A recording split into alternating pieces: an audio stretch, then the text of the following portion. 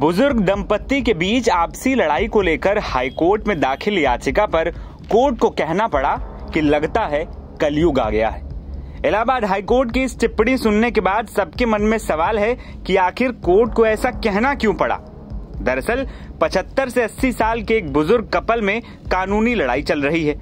मामला गुजारा भत्ते को लेकर है। इलाहाबाद हाईकोर्ट में मंगलवार को सुनवाई थी।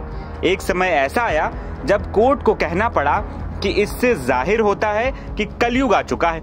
दंपति गुजारा भत्ता पाने के लिए कानूनी लड़ाई लड़ रहे हैं। पति ने हाईकोर्ट में याचिका दाखिल कर निचली अदालत के एक आदेश को चुनौती दी थी।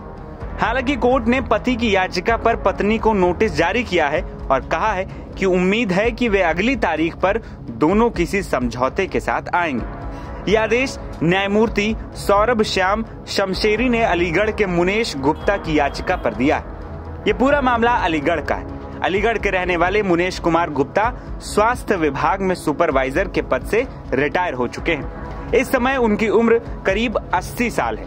उनकी पत्नी है गायत्री देवी, जिनकी उम्र छिहत्तर साल है।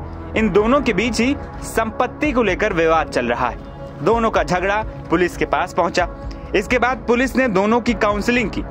लेकिन बात नहीं बनी और पति पत्नी अलग रहने लगे। इसके बाद पत्नी ने फैमिली कोर्ट में कहते हुए याचिका दायर की कि उनके पति की पेंशन करीब पैंतीस हज़ार रूपए है। इनमें से पंद्रह हज़ार रूपए उन्हें गुजारे भत्ते के रूप में दिया जाए। इस पर फैमिली कोर्ट ने उन्हें पाँच हज़ार रूपए दिए जाने का आदेश भी सुना दिया।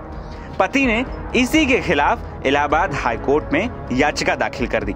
इस मामले की सुनवाई के दौरान जज श्याम शमशेरी को यह कहना पड़ गया कि उन्होंने दंपत्ति को समझाने, बुझाने की बहुत कोशिश की। जस्टिस सौरभ श्याम शमशेरी इस याचिका पर सुनवाई कर रहे थे।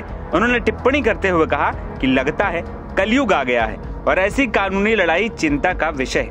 उन्होंने दंपत्ति को सलाह देने की भी कोशिश की, लेकिन दोनों नहीं तैयार हुए। गायत्री का कहना था कि हमने गुजारा भत्ता मांगा था और फैमिली कोर्ट ने हमारे पक्ष में फैसला भी सुनाया। इसके बाद पति ने कोर्ट के आदेश को चुनौती दी है। फ़िलहाल हाईकोर्ट ने गायत्री को नोटिस जारी किया है और कहा है, हमें उम्मीद है कि अगली सुनवाई तक वो किसी समझौते तक पहुँच जाएँगे। एनबीटी ऑनलाइन की रिपोर्ट।